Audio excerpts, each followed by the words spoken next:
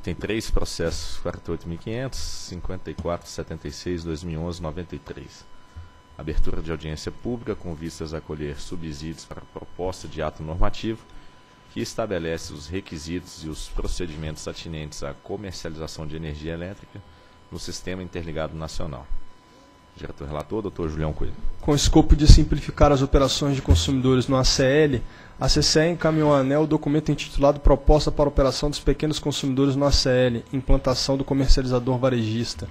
Por meio de nota técnica, assim, apresentou proposta de resolução que estabelece os requisitos e procedimentos aplicáveis ao comercializador varejista. Proposta chancelada pela Procuradoria. O relatório. Procuradoria. Opino pela abertura de... Opino pela abertura de audiência pública, os termos do parágrafo 3 do artigo 4 da Lei 942796. Com a instituição da figura do chamado comercializador varejista, consumidores livres e especiais poderão ser representados no âmbito da CCE por agentes de geração ou comercialização.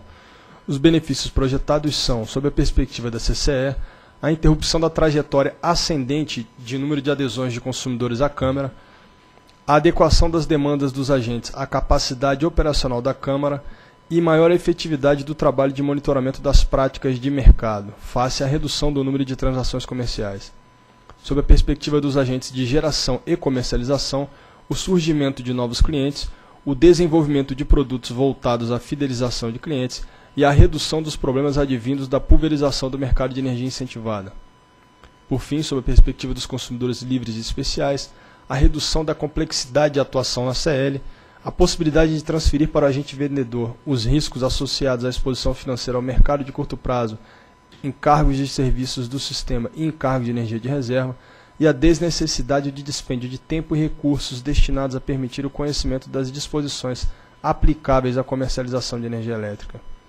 O fundamento normativo da medida encontra amparo no parágrafo 2 parágrafo 4 do artigo 4 do decreto 5177 de 2004 de acordo com a proposta apresentada pela SEM, são elegíveis a serem representados por comercializador varejista as unidades consumidoras de titularidade de consumidores livres e especiais, os agentes de geração com capacidade instalada não superior a 50 MW que não estejam comprometidos com CCR ou com o contrato de energia de reserva, e os consumidores integrantes de complexo industrial ou comercial, aos quais o produtor independente também forneça vapor oriundo do processo de cogeração.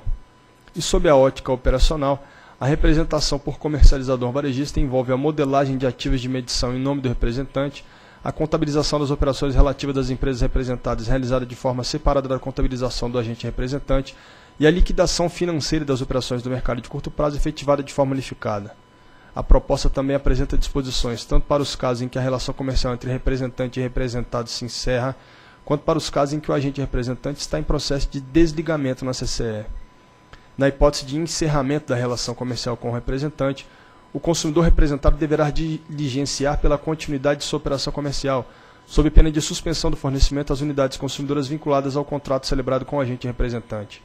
Na eventualidade de o representante ser submetido a processo de desligamento da CCE, a Câmara informará tal situação a todos os agentes representados, para que possam contratar com outro agente habilitado sua representação na Câmara, aderir em nome próprio à Câmara ou negociar com a distribuidora local o retorno à condição de consumidor cativo.